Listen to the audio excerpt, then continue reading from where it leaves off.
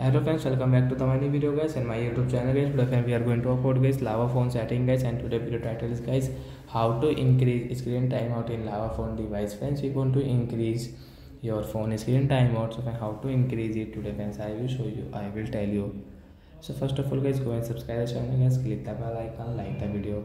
Friends as guys you can see my screen of guys a second. And friends i want to increase my phone screen timeout. So friends now let's see how to increase screen timeout in lava phone device. First of all guys we will on phone setting.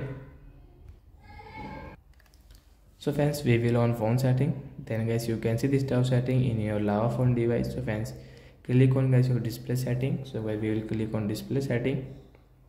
Then guys scroll it.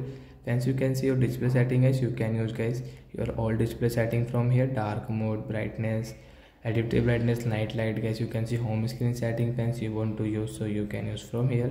So friends you can see screen timeout setting guys. We will click here. So friends your phone screen timeout guys you want to increase so you can increase like 10 minutes and 30 minutes so example guys i will click on this 30 minute.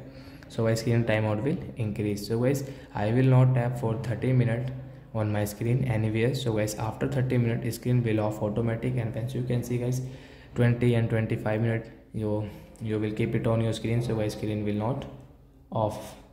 So friends you can see like that guys you can increase your phone screen timeout in lava phone device. So that's it guys thanks for watching the video.